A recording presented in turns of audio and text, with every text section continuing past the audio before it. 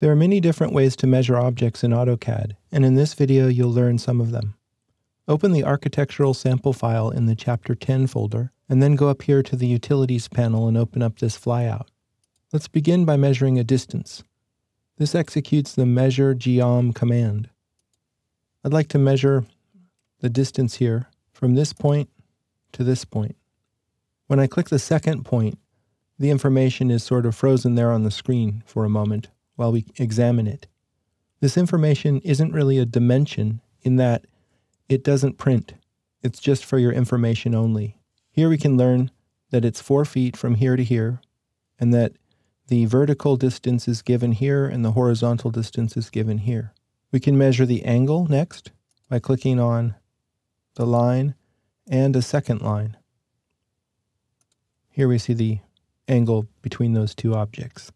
Alternatively, we could calculate the area of the room, and this is done simply by clicking each corner point of the room. Now I'll press enter, and it will give us the area information right here in square inches and, more usefully, in square feet. Incidentally, there's also the perimeter listed here. Obviously, in a 3D model, you could calculate a volume, and you can calculate the radii or angles of lines, as I've said. I'll click Exit. So each one of those options is broken out into a different icon here for convenience. You can alternatively use the older distance command. Type di for dist, enter, and then just click two points to measure the distance between them. It gives you the information down here on the command line. Aside from the measurement commands that I've already presented, you can measure objects by querying their properties. So for example, I will select this line and then type PR for properties, enter. That opens up this hmm. palette and we need to scroll down in the list by dragging this bar. And you'll see over here that we have information about the length is four feet, the angle with respect to zero degrees, which is going horizontally to the right, and we have the deltas, that is the change in these three different axes.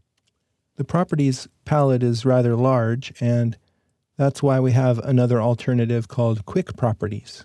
You can access that by adding another button to the status bar.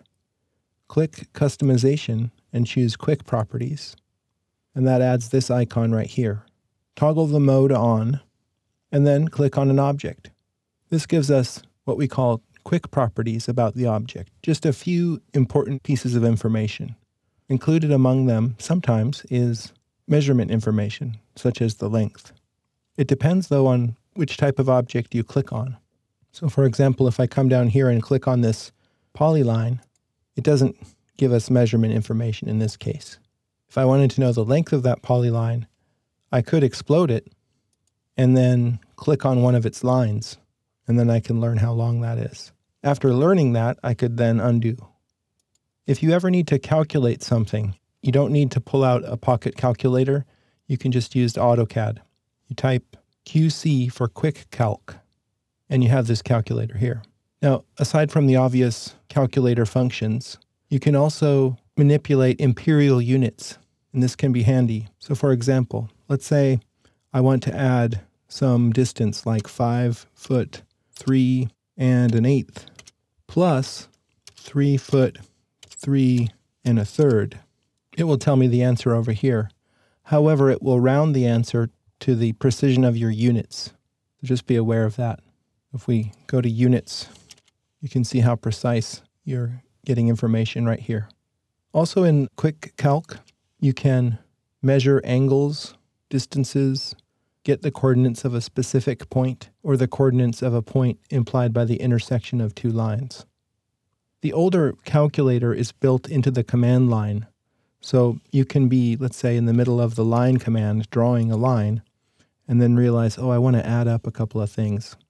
To use this command line version of the calculator, you press apostrophe or foot symbol to indicate that you want a transparent command. That is, a command that operates on top of the current command. It does not interrupt what you're doing. So I've called for a transparent command, and then I'll type CAL for calculator and press enter. Now it says expression, and I could then add two numbers. I'll just add 3 plus 7. Press enter, and it gives me that information right here. And not only that, but it entered it into the line command as a distance. So that's an alternative way to calculate things on the fly. So there you have it, many different ways to measure objects in AutoCAD.